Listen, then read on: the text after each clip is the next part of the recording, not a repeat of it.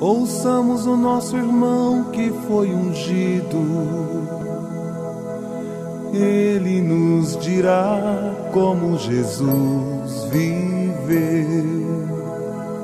Abençoai, Senhor, o vosso escolhido, que anunciará vossa palavra.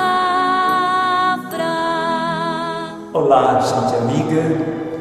A nossa liturgia da palavra para o dia de hoje diz: quem guarda a minha palavra não verá a morte. A palavra de Deus é tão importante para nós.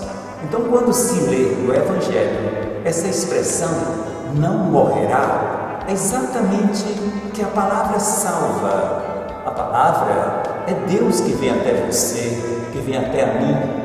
Deus quer falar com você. Ele quer lhe dizer algo, mas muitas vezes ele encontra escondido, distraído com o barulho do dia a dia. Então, quem encontra a palavra, quem escuta a palavra, não verá a morte. Porque a palavra é vida, a palavra é motivo da gente viver a alegria, o contentamento. Então, Jesus foi, no Evangelho de hoje, chamado de blasfêmio, blasfemou, porque ele se dizia filho de Deus. E ele é o filho de Deus que traduz para nós a palavra de Deus.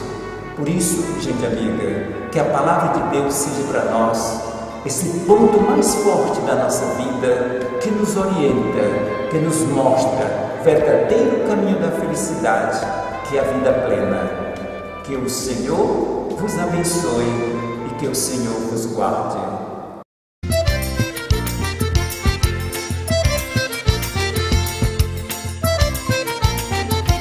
Nas horas de Deus, amém.